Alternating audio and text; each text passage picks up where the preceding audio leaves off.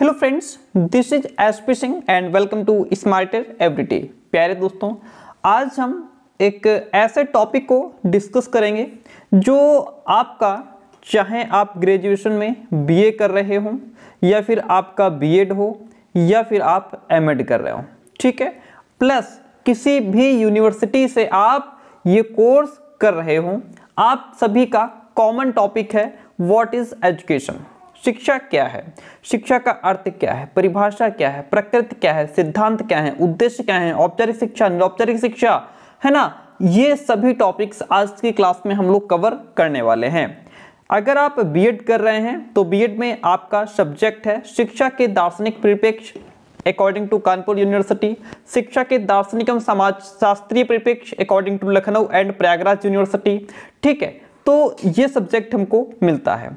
शिक्षा का अर्थ ये जो टॉपिक है आपका बीए, बीएड, एमएड इन सभी का कॉमन टॉपिक है। आप किसी भी यूनिवर्सिटी से हो बहुत हेल्पफुल आपके लिए होने वाला है। हम लोग आज क्या क्या पढ़ेंगे एक बार हम नज़र डाल लेते हैं। शिक्षा का शाब्दिक अर्थ समझेंगे ठीक है? किस शब्द से निकल करके हमारा ये शिक्षा आया है? फिर कुछ इसकी महत्वपूर्ण परिभाषाएँ जो आपके एग्ज़ाम में डेफिनेटली पूछी जाती हैं। शिक्षा का संकुचित अर्थ क्या है? विद पिक्चर्स हम आपको विधवा तरीके से समझा देंगे। गारंटी इस बात की रहेगी कि आज की क्लास के बाद आपको शिक्षा दोबारा पढ़ने की आवश्यकता नहीं पड़ेगी इस टॉपिक को। शिक्षा का व्यापक अर्थ समझेंगे, उसके बाद शिक्षा का विश्लेषणात्मक अर्थ समझेंगे, जिसमें हम लोग शिक्षा एक सामाजिक प्रक्रिया के रूप में कैसे काम करती है, शिक्षा एक गतिशील प्रक्रिया के रूप में कैसे काम करती है शिक्षा एक द्विमुखी प्रक्रिया के रूप में कैसे काम करती है? शिक्षा एक त्रिमुखी प्रक्रिया के रूप में कैसे काम करती है? तो ये सभी टॉपिक्स आज हम लोग कवर करने वाले हैं और फिर बहुमुखी प्रक्रिया के रूप में औपचारिक शिक्षा क्या है? और उसके बाद अनौपचारिक शिक्षा क्या है? इन सभी टॉपिक्स को बहुत ही वेल तरीके से हम लोग समझेंगे। शिक्षा की प्रकृति क्या है? फिर शिक्षा के विज्ञान के रूप में है। और उसके बाद जब आगे बढ़ेंगे तो फिर शिक्षा के कला के रूप में कोई भी टॉपिक आपका छूटने वाला नहीं है। यहाँ से आपको चाहे बीएड हो बीए हो, या फिर आपका हाँ एमए में भी एजुकेशन है, या फिर आपका एमए हो। ठीक है? वहाँ भी आप इसको यूज़ कर सकते हैं। शिक्षा, शिक्षण सीखना क्या है? शिक्षा के उद्देश्य क्या हैं? ठीक है तो यहाँ तक ये सारा हम लोग आज कवर करने वाले हैं। आइए। तो जो भी स्टूडेंट क्लास में लास्ट तक बना रहता है डेफिनेटली बहुत कुछ सीखने वाला। ज़ाहिर सी बात है, बहुत सारे टॉपिक्स हम लोग डिस्कस करेंगे क्लास लंबी हो जाएगी। शिक्षा है क्या? देखिए, शिक्षा एक प्रक्रिया है डिफरेंट क्या है? शिक्षा एक प्रक्रिया है जो व्यक्ति के जन्म से लेकर मृत्यु पर्यंत निरंतर चलती रहती है।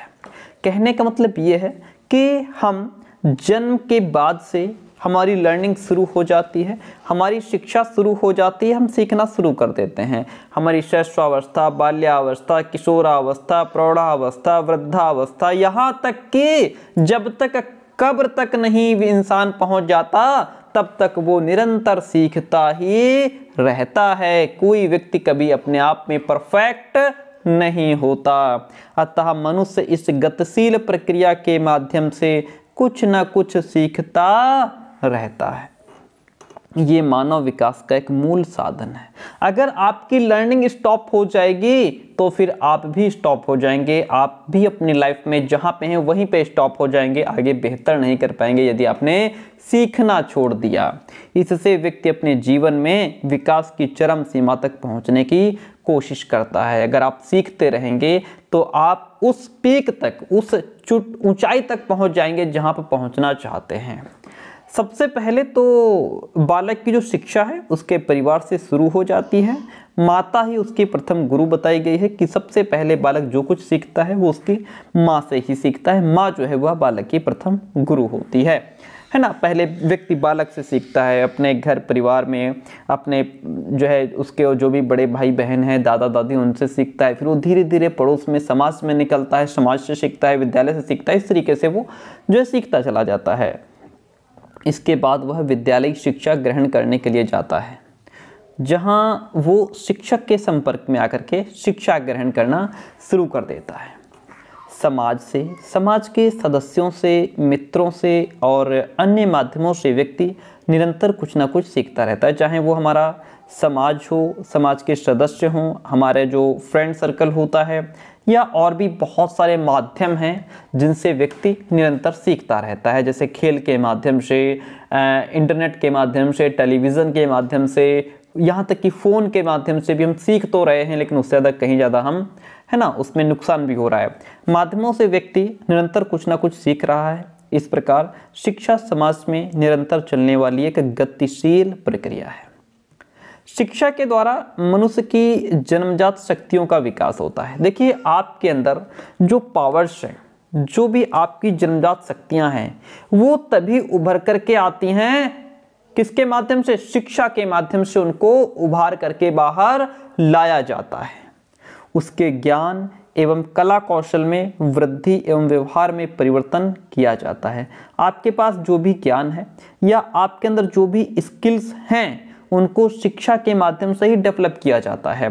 भाई, कोई चीज़ हमें नहीं आती है, या बहुत, थोड़ी बहुत आती है, लेकिन जब हमें कोई उसके बारे में सिखाने लगेगा, पढ़ाने लगेगा तो हम दिन प्रतिदिन अपनी स्किल को डेवलप करते चले जाएँगे विद प्रैक्टिस है ना? और उस धीरे धीरे जब हम सीखने लगते हैं तो हमारे व्यवहार में परिवर्तन आ जाता है। शुद्ध भाषा में आप ये समझिए कि एक व्यक्ति अनपढ़ है है ना, जो कि शिक्षित नहीं है और दूसरा व्यक्ति शिक्षित है तो अनपढ़ में और एक शिक्षित में, यानी कि अशिक्षित में और शिक्षित में कितना बड़ा डिफरेंस होता है। दोनों की सोच में, विचार में, इस दुनिया को देखने के नज़रिए में ज़मीन आसमान का अंतर होता है शिक्षित और अशिक्षित में। तो शिक्षित व्यक्ति के व्यवहार में दिन प्रतिदिन परिवर्तन आता चला जाता है जैसे जैसे वो सीखता चला जाता है। ओके आई होप आपको क्लास बहुत पसंद आ रही होगी। और उसे सभ्य सुसंस्कृत और योग्य नागरिक बनाया जाता है शिक्षा के माध्यम से, है ना? चलिए, आगे बढ़ते हैं। नेक्स्ट देखिए पॉइंट कहता है, शिक्षा शब्द का सीधा, साधा और सामान्य सा अर्थ इतना है कि सीखने, सिखाने की प्रक्रिया जो है वो शिक्षा कहलाती है, या जो हमारा टीचिंग लर्निंग प्रोसेस है, ये हमारा शिक्षा से जुड़ा हुआ है। इस सीखने, सिखाने का लक्ष्य क्या होता है? बच्चे का विकास। सीधा सीधा कम से कम शब्दों में अगर आप समझें तो शिक्षा का सीधा सीधा मतलब है सीखने और सिखाने की प्रक्रिया ही शिक्षा है और इसका लक्ष्य होता है बच्चे का विकास करना। आइए अब जो ये शिक्षा है, ये तो हमने एक इसकी अवधारणा समझ ली, ठीक है? और अब इसको हम डीप में जाएँगे और शिक्षा का शाब्दिक अर्थ क्या होता है? आखिर जो शिक्षा है, ये कहाँ से निकल करके आई है? इसके शाब्दिक अर्थ को समझिए। किसी शब्द की उत्पत्ति को जानने के लिए सबसे पहले ये जानना आवश्यक हो जाता है कि वो शब्द किस भाषा से प्रकट हुआ है। आइए, जैसे, शिक्षा शब्द जो है वो हिंदी भाषा का है और हिंदी भाषा की जो उत्पत्ति है वो आपकी संस्कृत भाषा से हुई है। डेफिनेटली कोई शक नहीं है। शिक्षा शब्द की उत्पत्ति संस्कृत के दो शब्दों से मानी जाती है। जो हमारी शिक्षा है इसके शब्द की उत्पत्ति संस्कृत के दो शब्दों से मानी जाती है। एक तो आपका शिक्ष धातु है, दूसरा साक्ष धातु है, यानी कि शिक्ष और साक्ष मिलकर के शिक्षा शब्द का निर्माण करते हैं। अब यहाँ पे शिक्ष का अर्थ है सीखना अथवा ज्ञान प्राप्त करना अथवा अध्ययन करना। साक्ष का अर्थ है अनुशासन में रखना, नियंत्रण में रखना तथा निर्देश देना। ओके, दोनों शब्द क्लियर हो गए? आइए आगे बढ़ते हैं। शिक्षा शब्द अंग्रेज़ी भाषा के एजुकेशन शब्द का पर्यायवाची है। जो हमारा अंग्रेज़ी का शब्द एजुकेशन है, उसका पर्यायवाची कह सकते हैं कि शिक्षा है। एजुकेशन शब्द की जो उत्पत्ति है, वो लैटिन भाषा के कुछ शब्द हैं, उनसे हुई है। लैटिन भाषा के शब्द आपके जैसे एडुकेटम एडुसियर और एडुकेयर हैं। ये वो शब्द हैं, ये लैटिन भाषा के शब्द हैं तीनों एडुकेटम एडुसियर एडुकेयर ये लैटिन भाषा के शब्द हैं, इन्हीं से निकल करके हमारा क्या आया है? एजुकेशन आया है। ओके अब यहाँ पे एक एक के अर्थ को समझते हैं। एडुकेटम शब्द का अर्थ होता है शिक्षित करना। क्या होता है? शिक्षित करना। ठीक है? और एडुकेटम शब्द जो है वो ए और डू को दो शब्दों से मिलकर के बना है। एडुकेटम शब्द जो है वो हमारा दो शब्दों से ए और डूको से मिलकर के बना है जिसमें ए यानी कि ई का अर्थ है अंदर से और डूको का अर्थ होता है आगे बढ़ना। अर्थात बच्चा जब अपने अं-, अंदर से आगे बढ़ने का प्रयास करता है उसे हम एजुकेशन कहते हैं। लैटिन भाषा के एडुकेयर और एडुशियर एडुशियर एडुशियर और एडुकेयर जो शब्द हैं वो भी इसी अर्थ को प्रकट करते हैं। एडुकेयर का शाब्दिक अर्थ है शिक्षित करना, यानी कि टू एजुकेट बाहर ले आना टू ब्रिंग अप जो बच्चे के अंदर जो ज्ञान है, जो नॉलेज है, जो पक्ष, जो पावर्स है, उनको बाहर करना या फिर विकसित करना डेवलप करना टू रेज एडुसियर का अर्थ है विकसित करना, बाहर निकालना ओके तो इस प्रकार उत्पत्ति के आधार पर शिक्षा का अर्थ बालक की अंतर्निहित शक्तियों या गुणों को विकसित करके उसका सर्वांगीण विकास करने की क्रिया से है। आपकी बात समझ में आ गई। शिक्षा का मतलब क्या है? बालक के अंदर जो भी अंतर्निहित, जो भी गॉड गिफ्टेड उसके अंदर पावर्स है, जो भी स्किल्स है, उसको बाहर निकालने का काम शिक्षा करती है। है ना? जैसे कई बार क्या होता है कि कोई व्यक्ति कह रहा होता है, नहीं यार, ये मैं नहीं कर सकता। है ना? लेकिन जब उसको कोई एक अच्छा गाइडेंस देने वाला अच्छा मार्गदर्शक मिल जाता है और उसका सेल्फ कॉन्फिडेंस यानी कि उसका जो आत्मविश्वास है, वो बढ़ाने का काम करता है कि आप ये कर सकते हैं। आप ही तो हैं जो कर सकते हैं। आपके अंदर ये क्षमता है, मैं जानता हूँ। और ये बात सही है, कई बार हम टीचर्स जब अपने बच्चों को देखते हैं तो हमें लगता है कि यार, ये बच्चा कर सकता है। ये बच्चा कर सकता है, लेकिन ये कर नहीं रहा है। है ना? फिर हम उसको कहते हैं कि, बेटा, आप कर सकते हैं। आपको ज़रूरत है थोड़े से मेहनत की और एक प्रैक्टिस की, लगन की। आप कर सकते हैं। ठीक है तो इसका मतलब है कि हम उसके अंदर की शक्तियों को बाहर निकालने का काम कर रहे हैं। देखिए, यहाँ पे हमने इसको दिया है, एक शिक्षा का शाब्दिक अर्थ जो है वो हमने यहाँ पे इस तरीके से आपको समझाने का प्रयास करेंगे।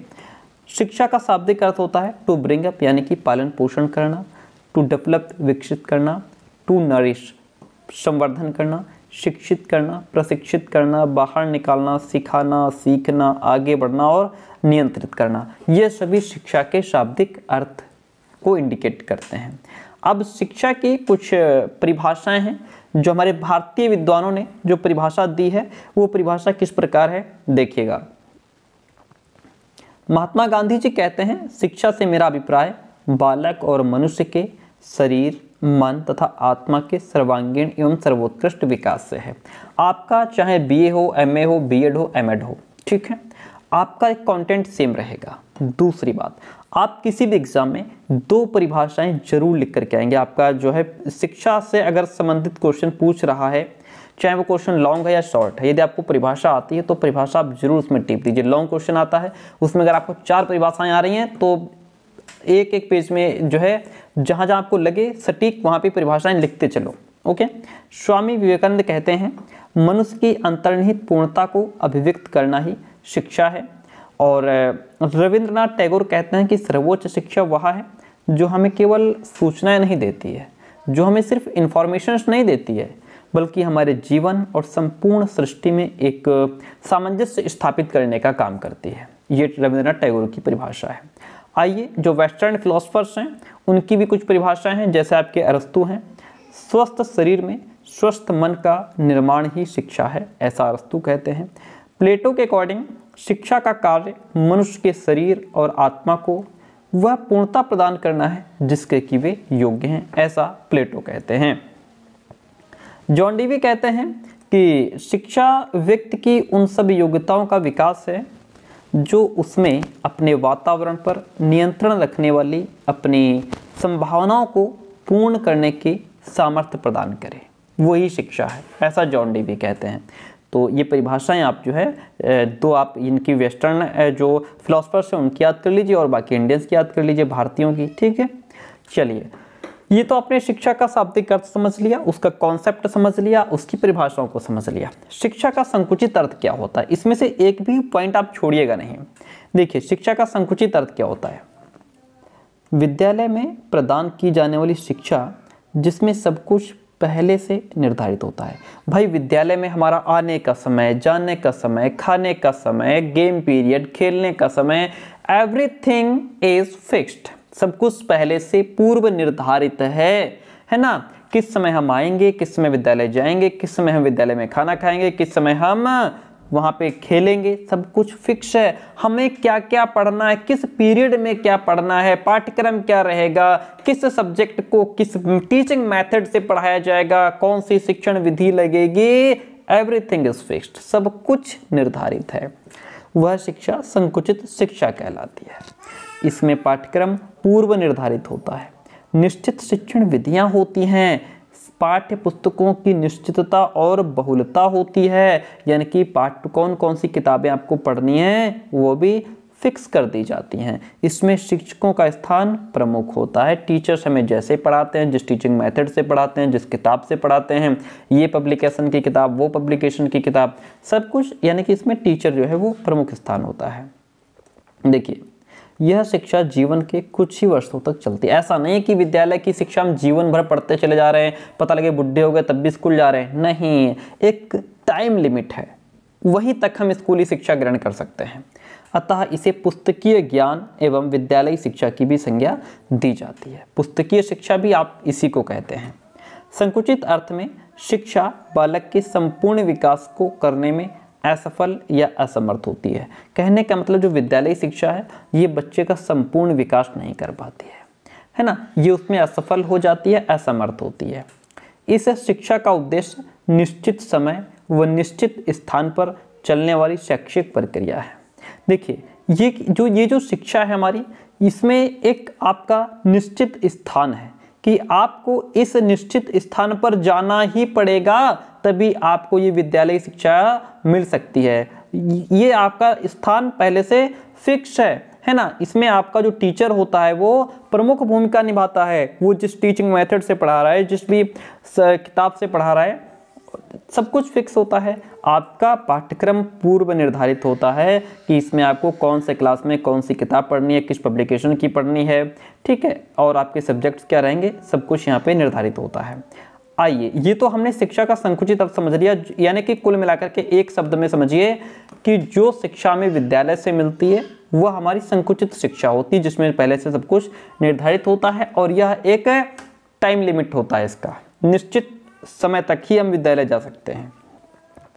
अगर हम व्यापक अर्थ में बात करें तो व्यापक अर्थ में शिक्षा से तात्पर्य है, जो हम सीखते हैं या अर्जित करते हैं। वो, यानी कि हम जीवन में जो कुछ भी सीख रहे हैं, सीखने का मतलब है, जहाँ पे हमें कुछ एफर्ट लगाने पड़े, वहाँ हम सीखते हैं। जहाँ हम कुछ प्रयास करें, वहाँ हम सीखते हैं। और अर्जन का मतलब ये है कि यहाँ पे हम अपने आप ही सीखते चले जाते हैं, अर्जित करते चले जाते हैं, अर्जन करने के लिए हमें एफर्ट नहीं लगाने पड़ते। ओके व्यक्ति जन्म से लेकर मृत्यु पर्यंत कुछ ना कुछ सीखता रहता है। अर्थात शिक्षा जीवन पर्यंत चलने वाली प्रक्रिया है। ऐसी शिक्षा किसी विशेष व्यक्ति, समय, स्थान अथवा देश तक सीमित नहीं रहती। अपितु जिसके भी संपर्क में आकर बालक जो कुछ भी सीखता है, वह शिक्षा के अंतर्गत आ जाता है। यानी कि व्यापक अर्थ का मतलब ये है कि इसमें हम सुबह, शाम उठते, जागते, है ना, किसी की बर्थडे पार्टी में चले गए, है ना, किसी की शादी में गए हैं, किसी भी फ़ंक्शन में गए हैं मतलब कहीं लड़ाई झगड़ा हो रहा है, मार्केट में, बाज़ार में है, सब जगह यानी कि हम कुछ ना कुछ सीखते रहते हैं। तो इसका ना कोई समय निश्चित है, ना कोई स्थान निश्चित है, ना कोई जो है कि पर्सनल व्यक्ति हमको सिखाने आएगा। नथिंग कुछ भी इसमें पहले से फिक्स नहीं होता है। ये व्यापक अर्थ है शिक्षा का। इसमें क्या है? बालक जन्म लेता है तो वह असहाय शिशु होता है। ठीक है? यानी कि वो दूसरों पर निर्भर रहता है। उसी अवस्था से ही उसकी सीखने की प्रक्रिया जो है, वह क्या होता है? शुरू हो जाती है।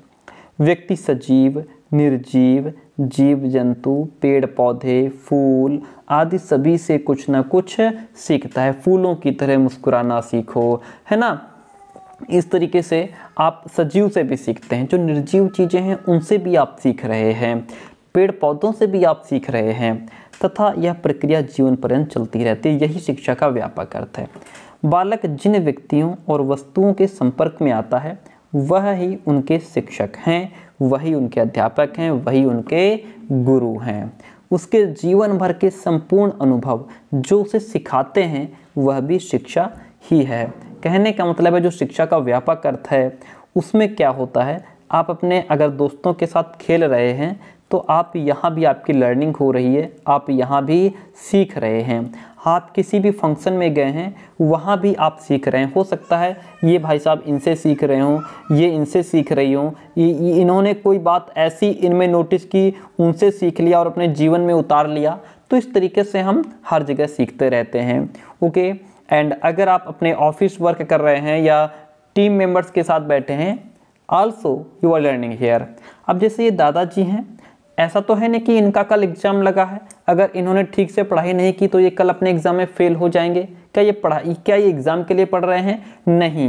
ये अपना एक मनोरंजन के लिए पढ़ रहे हैं। अपना खाली समय को यूटिलाइज करने के लिए पढ़ रहे हैं।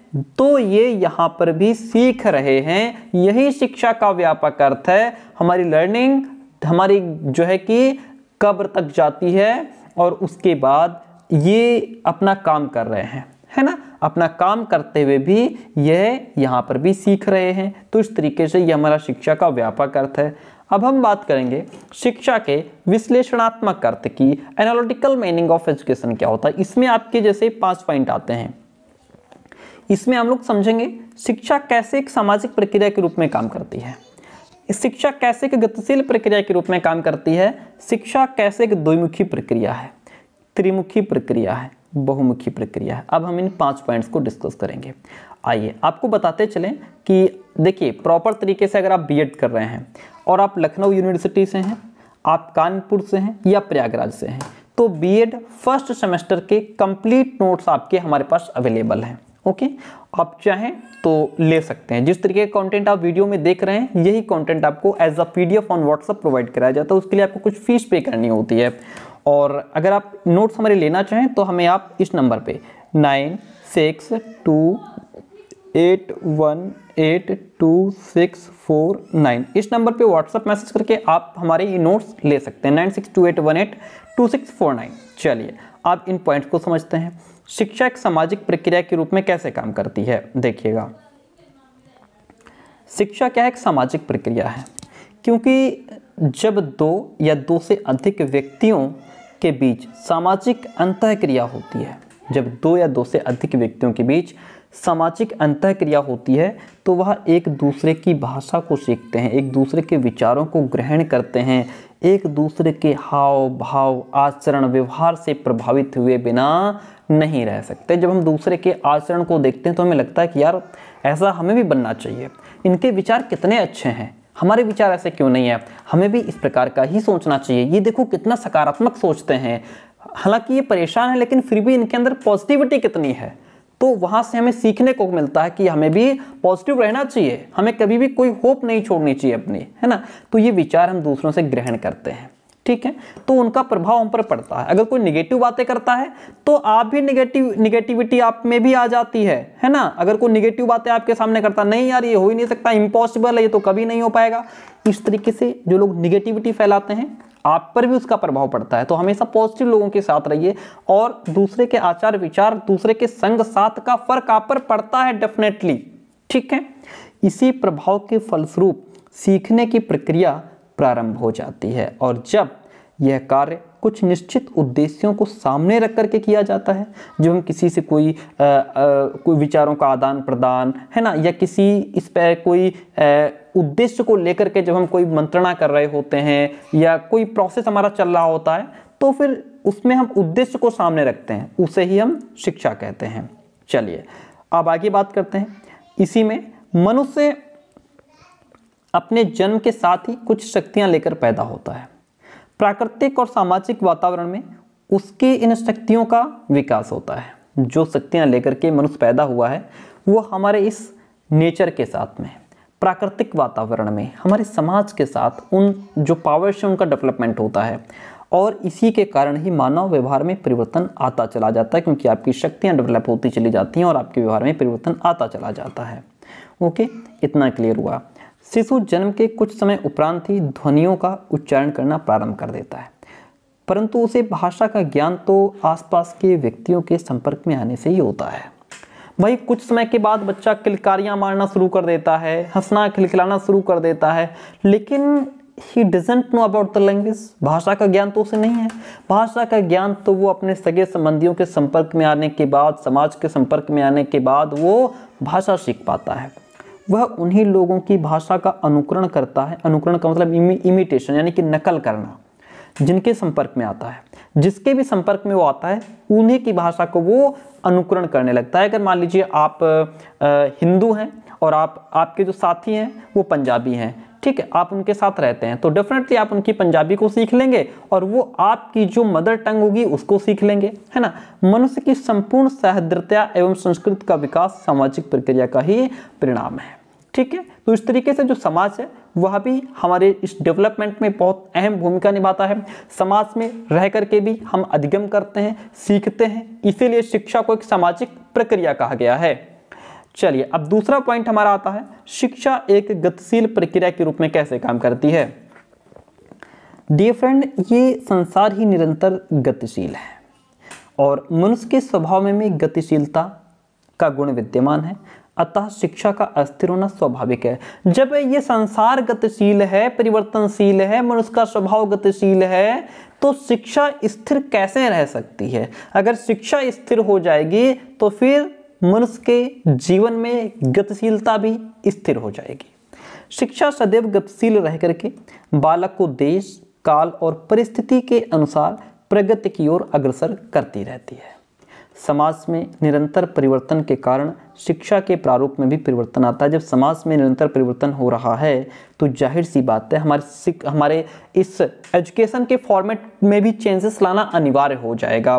क्योंकि देश, स्थिति, समाज की आवश्यकताओं को ध्यान में रख करके ही हम पाठ्यक्रम का निर्धारण करते हैं, जिसके हिसाब से यानी कि समाज को जिस तरीके की नीड्स हैं, उनको फुलफिल करने के लिए, उनको पूरा करने के लिए हमें इस तरीके का पाठ्यक्रम लाना पड़ता है कि आगे चल के बच्चा समाज की आवश्यकताओं को पूरा कर सके, देश की आवश्यकताओं को पूरा कर सके। ठीक है? इसीलिए बदलते हुए समाज के अकॉर्डिंग हम पाठ्यक्रम निर्धारित कर, किया जाता है हमारा। अतः शिक्षा के उद्देश्य से पाठ्यक्रम एवं शिक्षण विधियों आदि में भी निरंतर परिवर्तन होता रहता है। निरंतर विकास परिवर्तन के कारण ही और शिक्षा से विकास की गति भी प्रभावित होती है। अब अगला पॉइंट हमारा है कि शिक्षा एक द्विमुखी प्रक्रिया डिफरेंट कैसी प्रक्रिया है? जो शिक्षा है हमारी, वह द्विमुखी प्रक्रिया बताई गई है। कैसे? देखिए जॉन एडम्स के अनुसार शिक्षा एक द्विमुखी प्रक्रिया जॉन एडम्स कहते हैं कि जो शिक्षा है, वह हमारी द्विमुखी प्रक्रिया है, जिसमें एक व्यक्तित्व दूसरे व्यक्तित्व को प्रभावित करता है, जिससे उसके व्यवहार में परिवर्तन हो सके। एक व्यक्ति दूसरे व्यक्ति के व्यवहार में परिवर्तन लाता है। जॉन एडम्स ने शिक्षा को द्विमुखी प्रक्रिया कहा है। इनके अनुसार शिक्षा के दो पक्ष होते हैं। ये कहते हैं कि शिक्षा के सिर्फ़ दो पक्ष होते हैं। पहला जो प्रभावित कर रहा है, यानी कि टीचर दूसरा, जो प्रभावित हो रहा है, यानी कि विद्यार्थी। तो शिक्षा के दो ध्रुव इन्होंने बताए हैं, शिक्षक और शिक्षार्थी, ठीक है? दोनों के सम्मिलित और सक्रिय सहयोग से ही शिक्षा की प्रक्रिया आगे बढ़ती है। ऐसा इनका कहना है कि शिक्षा में तीसरी चीज़ कोई नहीं होती है, सिर्फ़ दो चीज़ें होती हैं, एक सिखाने वाला, दूसरा सीखने वाला। ये बात आपके जॉन एडम्स करते हैं। अतः शिक्षा की प्रक्रिया में बालक व शिक्षक का समान महत्व है, दोनों को इक्वल इम्पॉर्टेंस है। शिक्षक और शिक्षार्थी दोनों के बीच आदान प्रदान की प्रक्रिया चलती है। एक मार्ग प्रदर्शक है, रास्ता दिखाने वाला है तो दूसरा उस रास्ते पर चलने वाला, यानी कि उसका अनुकरण करने वाला है। इनके हिसाब से इनकी माने तो एक यहाँ पे है जो कि सिखा रहा है। कौन? एक है जो यहाँ पे सिखा रहा है, दूसरे हैं जो सीख रहे हैं, तीसरी चीज़ किसी को नहीं मानते। ये सिखाने वाले हैं और ये सीखने वाले हैं। सिर्फ़ दो ध्रुव होते हैं शिक्षा के, ऐसा जॉन एडम्स कहते हैं। लेकिन जो आपके जॉन डीवी हैं, उन्होंने एडम्स के इस पॉइंट को खारिज करते हुए कहा है कि शिक्षा एक त्रिमुखी प्रक्रिया है। एडम्स भाई, ये द्विमुखी नहीं है।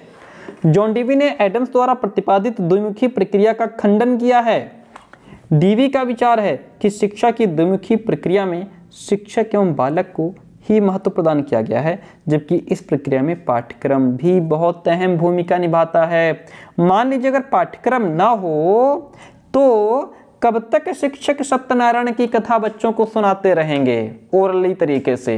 क्योंकि इनके जो है सुनाने का और इनके सुनने का जो एक माध्यम है जो शिक्षा का माध्यम है, वो ये सब चीज़ें हैं, वो ये पाठ्यक्रम है, वो इनकी ये पाठ्य पुस्तकें हैं जो बच्चों के सामने रखी हैं, जिसके माध्यम से, जिसके आधार पर टीचर बच्चों को सिखा रहा है। है ना? ये तीसरी चीज़ है जो इन दोनों के बीच में कनेक्ट कनेक्शन जो है, करती है, जोड़ती है। वरना टीचर कब तक जो है बच्चों को यूँ ही पढ़ाते रहेंगे? ओके, डीवी का विचार है कि शिक्षा की प्रक्रिया में अध्यापक और छात्रों के बीच अंतःक्रिया का कोई ना कोई आधार अवश्य होता है। अन्यथा दोनों के बीच अंतक्रिया कैसे होगी? किस बेस किस बेस पे वो अपने, जो है, विचार विमर्श कर पाएँगे? और वह आधार समाज है, क्योंकि बालक का विकास समाज में रह करके ही होता है। समाज द्वारा ही बदलती परिस्थितियों के अनुसार शिक्षण विधियों को निर्धारित किया जाता है। अतः उन्होंने शिक्षा प्रक्रिया के तीन आधारभूत स्तंभ बताए हैं। पहला शिक्षक, दूसरा बालक, तीसरी चीज़ उन्होंने पाठ्यक्रम बताई है। ओके, यहाँ पे आप देख सकते हैं टीचिंग प्रोसेस में आपकी तीन चीज़ें लगती हैं। एक टीचर, दूसरा स्टूडेंट, तीसरा कैरिकुलम। यहाँ पे आप टीचर को देख पा रहे हैं। ये उनके कैरिकुलम को, ये उनके पाठ्यक्रम को देख पा रहे हैं। तीसरा यहाँ पे सीखने वाला है। तो ये तीन ध्रुव बताए गए हैं शिक्षा के। ओके, यहाँ पे जो टीचर हैं, ये बच्चे को किस आधार पे सिखा रहे हैं? ये इनका आधार, ये पाठ्यपुस्तकें हैं, ये पाठ्यक्रम है। इन, यही वो कारण है जिसके माध्यम से इन दोनों के बीच में अंतरक्रिया हो पा रही है। ओके, चलिए, अब आगे बात करते हैं शिक्षा एक बहुमुखी प्रक्रिया के रूप में कैसे काम करती है? Education as a multipolar process बहुत अहम क्लास बहुत इंपॉर्टेंट क्लास आप सभी के लिए। देखिए, आधुनिक समय में क्या है? प्रेजेंट टाइम में मॉडर्न एज में शिक्षा का जो स्वरूप है, वो काफ़ी बदला हुआ है डिफरेंट है ना? अब शिक्षा को केवल विद्यालय और पाठ्यक्रम तक ही सीमित नहीं किया जा सकता है। अब ऐसा नहीं कि आजकल के ज़माने में जो एजुकेशन है, वो सिर्फ़ विद्यालय और पाठ्यक्रम पर ही लिमिटेड है। ऐसा नहीं है। सामाजिक, आर्थिक क्रियाकलापों का भी शिक्षा में बहुत महत्व है। विद्यालय के अतिरिक्त अन्य औपचारिक, निरौपचारिक साधनों को भी शिक्षा का साधन माना जाने लगा है। शिक्षा को बहुमुखी प्रक्रिया के रूप में मान्यता प्रदान की जा रही है कि शिक्षा एक मुखी प्रक्रिया नहीं है, द्विमुखी प्रक्रिया नहीं है। शिक्षा तो बहुमुखी प्रक्रिया है। विद्यार्थियों को उनकी रुचि के आधार पर साधनों के चयन की स्वतंत्रता प्रदान की जा रही है। बच्चे का इंटरेस्ट जिस सब्जेक्ट में है, जिस तरीके से वो पढ़ना चाहता है, उस तरीके से बच्चे को सिखाओ। इसमें शिक्षा का प्रचलित स्वरूप, पूर्णकालिक शिक्षा, अंशकालिक शिक्षा, पत्राचार द्वारा शिक्षा एंड एक सूचना के स्रोतों का उपयोग करने वाले स्व शिक्षा के अनेक रूप में सम्मिलित है। स्व अध्ययन के लिए विभिन्न प्रकार की नई संस्थाओं और सेवाओं जैसे आपके सूचना केंद्र हो गए। भाषा प्रयोगशालाओं, पुस्तकालय, तकनीकी, प्रशिक्षण प्रयोगशालाएँ एवं अधिगम केंद्र, मुक्त विश्वविद्यालय, श्रव्य दृश्य साधन आदि के प्रयोग पर बल दिया जा रहा है। यानी कि शिक्षा सिर्फ़ तीन चीज़ों तक निर्धारित नहीं रहनी चाहिए, शिक्षा जो है वह बहुमुखी प्रक्रिया है। अब बात करते हैं औपचारिक शिक्षा की। देखिए, औपचारिक शिक्षा क्या है? जो आपने संकुचित शिक्षा पढ़ी थी, ये वही है। अभी हमने आपको संकुचित शिक्षा सबसे पहले पढ़ाई आई थिंक है ना? तो जो संकुचित शिक्षा है वही आपकी औपचारिक शिक्षा है। आइए थोड़ा सा इसको समझना अनिवार्य हो जाता है। देखिएगा। जो फॉर्मल एजुकेशन है ये क्या है?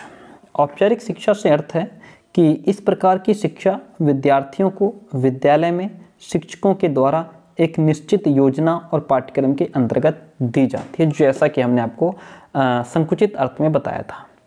इस प्रकार की टीचिंग की योजना पहले से ही बना दी जाती है, यानी कि आपका, आप क्या पढ़ाने वाले हैं, किस टॉपिक को पढ़ाने वाले हैं, उसका लेसन प्लान भी आप पहले से तैयार कर लेते हैं, आप चार्ट भी पहले से तैयार कर लेते हैं, है ना? और इसका उद्देश्य भी निश्चित कर दिया जाता है कि इस टॉपिक को पढ़ाने के पीछे उद्देश्य क्या है। हमारा उद्देश्य किन चीज़ों को बालकों तक पहुंचाना है, क्या सिखाना है कि हम ये टॉपिक पढ़ा रहे हैं, इस टॉपिक के माध्यम से बच्चों क्या सिखा सकते हैं।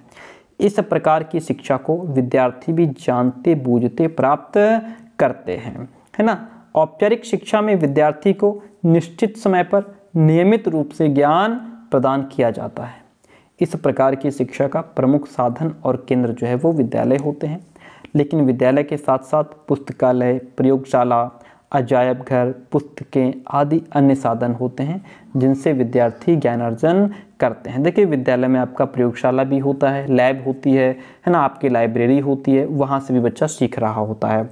तो ये आपका विद्यालय है, जो, जिसमें सब कुछ आपका पूर्व निर्धारित है। ठीक है? बच्चा लाइब्रेरी में जा कर के भी पढ़ सकता है। बच्चा लैब में प्रयोग करके है ना? खुद करके लर्निंग बाय डूइंग भी बच्चा यहाँ पे सीख रहा है। तो इस तरीके से ये शिक्षा एक अनौपचारिक शिक्षा कहलाती है। ओके अब आगे हम बात करेंगे जो अनौपचारिक शिक्षा है। अनौपचारिक शिक्षा को हम समझेंगे। अनौपचारिक शिक्षा देखिए, जो हमारा शिक्षा का व्यापक अर्थ मैंने आपको बताया था, शिक्षा का व्यापक अर्थ, वही आपका ये अनौपचारिक इनफॉर्मल एजुकेशन है। अनौपचारिक शिक्षा को अनियमित शिक्षा भी कहते हैं। इस प्रकार की शिक्षा जन्म भर चलती है, कभी रुकती नहीं है। जैसा मैंने आपको व्यापक अर्थ में बताया था कि आप जो है, जब तक कब्र तक व्यक्ति इंसान नहीं पहुँच जाता, तब तक वो सीखता रहता है। इस प्रकार की शिक्षा में विद्यालय या शिक्षक की औपचारिकता नगण्य होती है। अनौपचारिक शिक्षा में बालक को हँसते, खाते, पीते, काम करते, उठते, बैठते, नहाते, धोते, आकस्मिक व अनायास ज्ञान प्राप्त होता रहता है। अपने माँ, बाप, मित्र, भाई, बहन, पड़ोसी, समाज के जो अन्य व्यक्ति हैं, जिनसे भी बालक का परिचय होता है, वह सबसे कोई ना कोई ज्ञान की बात ग्रहण करता रहता है और वह धीरे धीरे इन सब चीज़ों से सीखता रहता है। औपचारिक देखिए, हमने बहुत आसान भाषा में ये सारा कंटेंट तैयार किया है ताकि आप बहुत अच्छे तरीके से इसको पढ़ पाएँ। कोई डिफ़िकल्ट वर्ड नहीं, कोई जो है बहुत बहुत हमने कॉम्प्लिकेटेड लैंग्वेज का यूज़ नहीं किया। इतनी आसान भाषा में कि आप बस एक बार रीड कर लें और समझ जाएँ। अनौपचारिक शिक्षा में कोई निश्चित योजना, निश्चित सीमा, निश्चित समय नहीं होता। बच्चे का परिवार, बच्चे का परिवार, उसका मित्र समूह पड़ोसी समाचार पत्र पत्रिकाएँ, टेलीविज़न, रेडियो, जनसंचार के अन्य साधन, दल, गुट, खेल आदि अनौपचारिक शिक्षा के साधन हैं। आप अपने परिवार के साथ सीख रहे हैं, टीवी, टेलीविज़न को देख रहे हैं, तब भी आप सीख रहे हैं। और यदि आप अपने मित्र मंडली के साथ खेल खेल रहे हैं, प्लेग्राउंड में हैं then also you are learning there तो आप वहाँ भी सीख रहे हैं। यह आपकी शिक्षा, अनौपचारिक शिक्षा कहलाती है। अब हम बात करेंगे शिक्षा की प्रकृति की। उसके बाद हम शिक्षा को समझेंगे विज्ञान के रूप में, कला के रूप में। उसके बाद फिर हम शिक्षा के, शिक्षा, शिक्षण और सीखना समझेंगे। फिर हम इसके उद्देश्यों पर चलेंगे। ठीक है, इस तरीके से हमारी क्लास एंड होगी धीरे धीरे चलिए, लेकिन आज की क्लास लेने के बाद आपको दोबारा शिक्षा पढ़ने की आवश्यकता। शिक्षा की प्रकृति क्या है, देखिएगा। शिक्षा एक प्रकार की सामाजिक प्रक्रिया है और इसके मुख्य तीन अंग होते हैं, ठीक है? शिक्षक, शिक्षार्थी और आपका पाठ्यक्रम, पाठ्यपुस्तक या फिर विषय सामग्री। व्यापक अर्थ में शिक्षा समाज में चलने वाली एक निरंतर प्रक्रिया है, परंतु संकुचित अर्थ में यह प्रक्रिया केवल विद्यालयों में ही होती है डेफिनेटली आप समझ गए होंगे। शिक्षा एक उद्देश्यपूर्ण प्रक्रिया है, इसके पीछे कोई ना कोई एक उद्देश्य निर्धारित होता है, जिसके आधार पर हम आगे का प्रोसेस कंटिन्यू करते हैं, जिसके उद्देश्य समाज के द्वारा निश्चित होते हैं। शिक्षा के स्वरूप का निर्धारण, उस समाज के धर्म दर्शन, उसकी संरचना, संस्कृति शासन तंत्र अर्थतंत्र और वैज्ञानिक प्रगति के आधार पर निर्भर करता है। शिक्षा का कार्य ऐसे मानवों का क्रिएशन है सृजन करना है, जो इंटीग्रेटेड होकर के समाज का विकास करें, यानी कि एक साथ मिल करके समाज को आगे बढ़ाने का काम करें। आप जानते हैं कि शिक्षा एक विज्ञान है या फिर शिक्षा एक कला है? देखिएगा। शिक्षा के विज्ञान पक्ष को समझने के लिए हमें ये पता होना चाहिए कि विज्ञान में वो कौन कौन सी क्वालिटीज़ हैं जो शिक्षा में भी अगर मैच करती हैं then we can say that education is also a science तो हम कह सकते हैं कि शिक्षा भी एक विज्ञान है।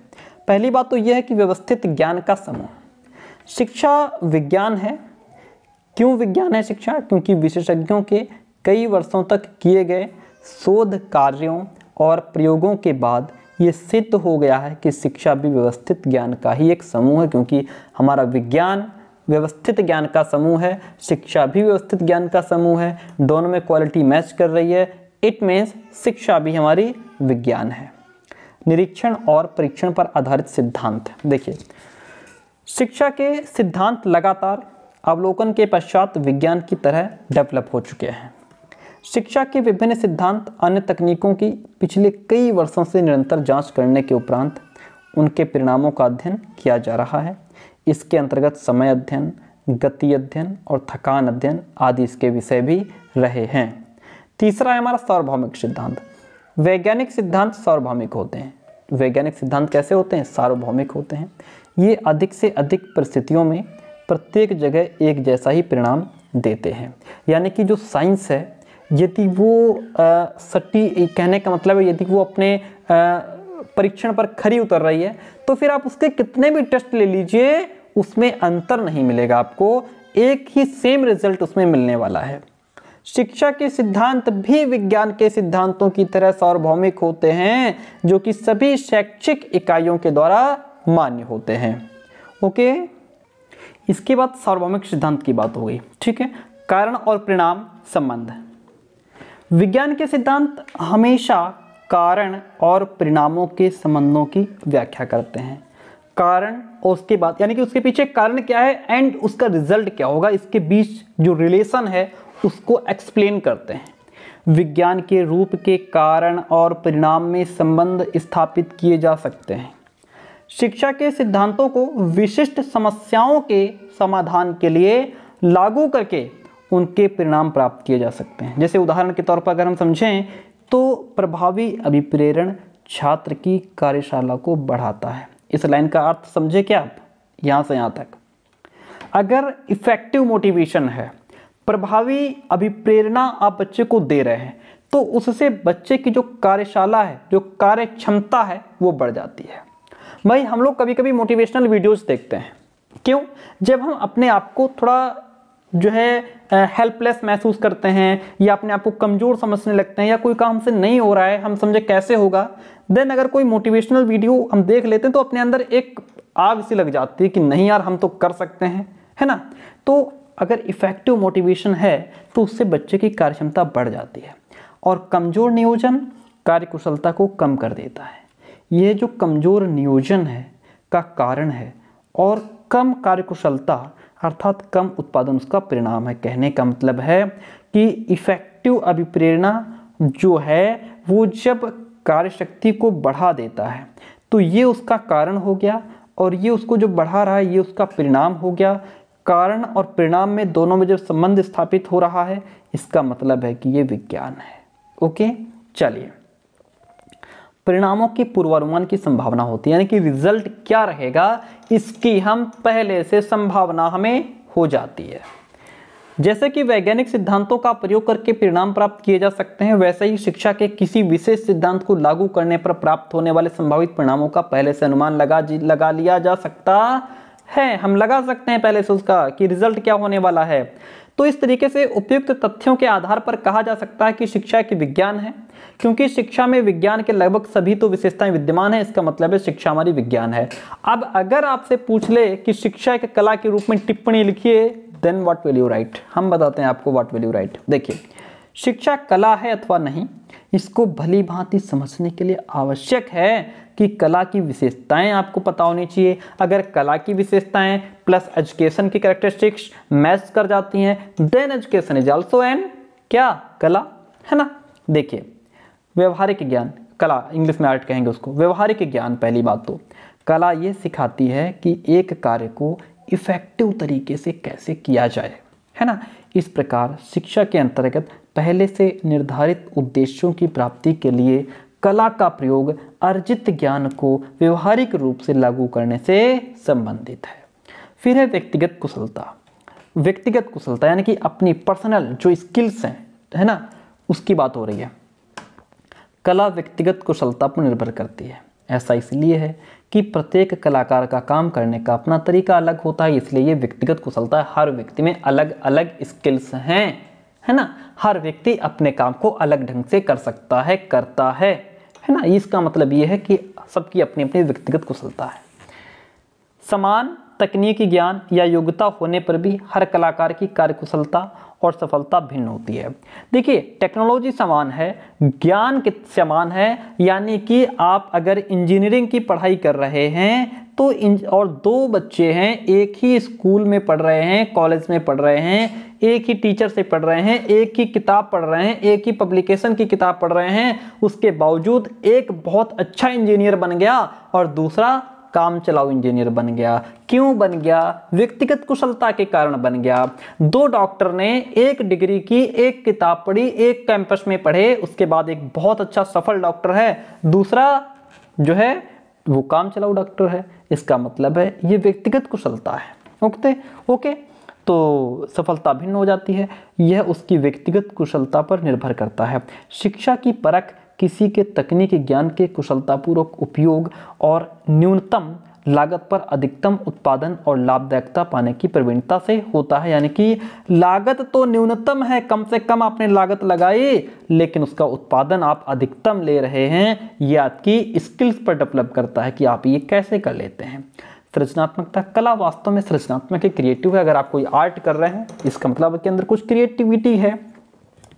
क्योंकि प्रत्येक कलाकार के भीतर कुछ ना कुछ सृजनात्मक तत्व विद्यमान रहते हैं। शैक्षिक प्रक्रिया एक कला है, जिसके अंतर्गत सौहार्दपूर्ण वातावरण के द्वारा कर्मचारियों को इस प्रकार अभिप्रेरित किया जाता है कि वे उपक्रम में अपनी श्रेष्ठ सेवाएँ प्रदान करें। निरंतर अभ्यास के द्वारा सुधार कैसे करेंगे? देखिए, निरंतर अभ्यास के द्वारा सुधार संभव है। जिस प्रकार कला में निरंतर अभ्यास के द्वारा सुधार किया जाता है, उसी प्रकार शिक्षा में भी निरंतर अभ्यास के द्वारा सुधार होता है। ठीक है? किसी भी क्षेत्र में यदि आप कंटिन्यू जो है एक मेहनत, लगन और अभ्यास आप कर रहे हैं तो आपका क्या है? सुधार संभव है। उदाहरण के तौर पर एक गायक जिस प्रकार अभ्यास से अपने गायन में सुधार करता है, उसी प्रकार एक टीचर अपने निरंतर अभ्यास से नए अनुभव प्राप्त करता है। इस प्रकार वह समस्याओं का समाधान अपने व्यक्तिगत अनुभवों के आधार पर कर सकता है। हर चीज़ के लिए किताबों पर निर्भर नहीं रहता। एक अच्छा अध्यापक वो है जो बच्चे को आसान से आसान लैंग्वेज में किसी भी कंटेंट को उस तक पहुँचा दे, है ना? और अपना व्यक्तिगत अनुभवों के आधार पर उसकी प्रॉब्लम्स को सोल्यूशन दे दे। वो एक अच्छा अध्यापक है। अतः शिक्षा एक कला है, क्योंकि इसमें कला के सभी गुण विद्यमान हैं। ओके, अब हम बात करते हैं शिक्षा, शिक्षण और सीखने पर। अगर आपसे टिप्पणी पूछ ले कि शिक्षा, शिक्षण और सीखना क्या है तो इसको आप कैसे लिखेंगे, फिर हम इसके उद्देश्यों को समझेंगे। क्लास हमारी एंड हो जाएगी। आपसे कहना चाहेंगे, यदि आप यहाँ तक आ गए हैं पूरा समझ लिया है। दो मिनट और वेट कीजिए, इसको समझ लीजिए और प्लीज़ वीडियो को लाइक, चैनल को सब्सक्राइब और एक प्यारा सा कमेंट ज़रूर दीजिएगा, कैसी रही क्लास? देखिए, शिक्षा, शिक्षण और सीखने की बात करेंगे। शिक्षा, शिक्षण और सीखना तीनों उद्देश्यपूर्ण प्रक्रियाएँ हैं। भाई, तीनों के पीछे कोई उद्देश्य होता है?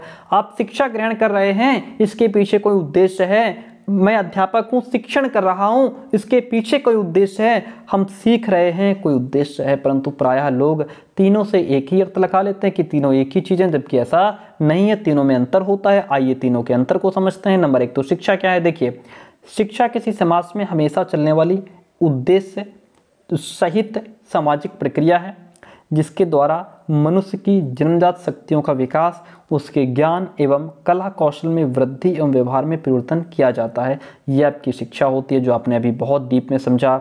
शिक्षण क्या है? शिक्षण जो हम कर रहे हैं, यानी कि किसी को पढ़ाना, किसी को सिखाना ही शिक्षण है। शिक्षण वो प्रक्रिया है जिसमें सिखाने वाले, सीखने वालों के लिए विभिन्न विधियों, युक्तियों और साधनों द्वारा सीखने की परिस्थितियों का निर्माण करते हैं। देखिए, शिक्षण क्या है जिसमें जो सिखाने वाला है यानी कि जो अध्यापक है, वो विद्यार्थियों के लिए अलग अलग तरीके की विधियाँ अपनाता है है ना? और युक्तियाँ अपनाता है टेक्निक्स अपनाता है अलग अलग प्रकार के साधनों का प्रयोग करता है, जैसे आपका चार्ट हो गया, है ना? और लेसन प्लान हो गया, और बहुत सारी चीज़ें हो गई, है ना? कि किस तरीके से हम बच्चे को आसान से, आसान तरीके से समझा सकें। शिक्षण का तब तक कोई अर्थ नहीं, जब तक सीखने वाले सीख नहीं जाते। हमारा पढ़ाने का कोई मतलब नहीं बनता है। अगर कॉन्सेप्ट आपके समझ में नहीं आता है, यदि किसी कॉन्सेप्ट को आप नहीं समझ पा रहे हैं, हमने उसको खूब पढ़ा दिया, इसका मतलब हमारा पढ़ाना व्यर्थ हो गया क्योंकि हम आपको समझा नहीं पाए। आप जहाँ भी टीचिंग कर रहे हैं, कोशिश करिए जो आप पढ़ाएँ, बच्चे को बिल्कुल विधवत तरीके से समझ में आ जाना चाहिए। यदि बच्चे को समझ नहीं आया तो आपका वहाँ पे पढ़ाने का कोई मतलब नहीं निकला, कोई उसका अर्थ नहीं है। नॉलेज चाहे आपके पास जितना हो, उनके व्यवहार में वांछित परिवर्तन करना आपका उद्देश्य होना चाहिए। सीखने का अर्थ है, अनुभव, शिक्षण प्रशिक्षण अथवा अध्ययन द्वारा नए नए तथ्यों को जानना और नई नई क्रियाओं को करना, इन्हें बहुत बहुत समय तक धारण करना आवश्यकता पड़ने पर इनका प्रयोग करना, ये सभी सीखना है। सीखने का तब तक कोई अर्थ नहीं है जब तक उससे सीखने वालों के व्यवहार में इस प्रकार का परिवर्तन नहीं हो जाता, तब तक सीखने का भी कोई अर्थ नहीं होता। ये आपने समझ लिया, शिक्षा, शिक्षण और सीखना क्या है? अब हम बात करेंगे शिक्षा के उद्देश्य क्या हैं? Aims of education. देखिएगा एक शिक्षा का उद्देश्य है व्यक्तित्व का सर्वांगीण विकास करना। सर्वांगीण में जैसे बालक का बौद्धिक, देखिए, शिक्षा का मुख्य उद्देश्य है व्यक्ति का सर्वांगीण विकास करना। अर्थात व्यक्ति का बौद्धिक, आध्यात्मिक, धार्मिक, सामाजिक, संवेगात्मक विकास करना। यानी कि बच्चे का हर तरीके से विकास हो जाए, यही शिक्षा का सबसे बड़ा उद्देश्य होता है। दूसरा पॉइंट है, व्यावसायिक कुशलता की उन्नति होनी चाहिए। शिक्षा के माध्यम से बालकों में श्रम के प्रति आदर, यानी कि मेहनत के प्रति सम्मान। हम मेहनत करेंगे तभी हमें उसका अच्छा रिज़ल्ट मिलेगा। मेहनत के प्रति सम्मान तथा रुचि उत्पन्न करके हस्तकला के कार्य पर बल देना चाहिए, ताकि भविष्य में बालक व्यावसायिक कुशलता में उन्नति प्राप्त कर सके। व्यावहारिक शिक्षा की अगर बात करें तो शिक्षा का उद्देश्य बालक को ऐसी शिक्षा प्रदान करना होना चाहिए ताकि बाद में वह जी, जीवन में सफलता प्राप्त कर सके। नैतिक एवं चारित्रिक विकास की बात है। शिक्षा का उद्देश्य है कि बालक का नैतिक विकास हो बालक का चारित्रिक विकास हो बच्चा अच्छे चरित्र वाला अच्छा आचरण वाला समाज में सबके साथ उठने बैठने वाला होना चाहिए। व्यक्ति के चरित्र का सीधा प्रभाव समाज और राष्ट्र पर पड़ता है। चरित्रवान व्यक्ति ही किसी समाज और देश की प्रगति के आधार होते हैं। इसलिए शिक्षा का मुख्य उद्देश्य नागरिकों को चरित्रवान बनाना होना चाहिए। समाजवाद की स्थापना, समाजवादी समाज की स्थापना, यह भी शिक्षा का उद्देश्य है। शिक्षा द्वारा हमें ऐसे समाजवादी समाज की स्थापना करनी होगी, जहाँ सभी जाति, प्रजाति, वर्ण संप्रदाय के लोगों को सभी क्षेत्रों में समान अवसर प्राप्त हो सकें, यह भी शिक्षा का एक महत्वपूर्ण उद्देश्य है। भावात्मक एकता का विकास। देखिए, पेड नोट्स का मतलब क्या है? हमने आपको समझा दिया है। हम सिर्फ़ बी स्टूडेंट्स को ही पेड नोट्स प्रोवाइड कराते हैं और वो भी सिर्फ़ तीन यूनिवर्सिटीज़ के स्टूडेंट्स को। Lucknow university B first semester Kanpur university B first semester Prayagraj university B first semester में आपका ये सब्जेक्ट है, आप लोग इस नंबर पर व्हाट्सअप मैसेज करके नोट्स ले सकते हैं। भावात्मक एकता का विकास करना शिक्षा का उद्देश्य है। शिक्षा के माध्यम से ही हम देशवासियों में पारस्परिक प्रेम, सहयोग भ्रातृत्व, भाईचारे की भावना, त्याग और देश पर मर मिटने की भावना को जागृत कर सकते हैं, उसका माध्यम सिर्फ़ और सिर्फ़ शिक्षा है। प्यारे दोस्तों, क्लास कैसी रही? कमेंट करके ज़रूर बताइएगा। अपने दोस्तों तक कॉलेज ग्रुप में शेयर कीजिए। इसी तरीके के और भी कंटेंट टॉपिक्स आपको मिलते रहेंगे। आपका अपना कोई टॉपिक हो तो आप कमेंट बॉक्स में छोड़िए। हम वो टॉपिक आप तक पहुँचाने का प्रयास करेंगे। Thank you so much comment ज़रूर कीजिएगा। आपके कमेंट का दिल से स्वागत है।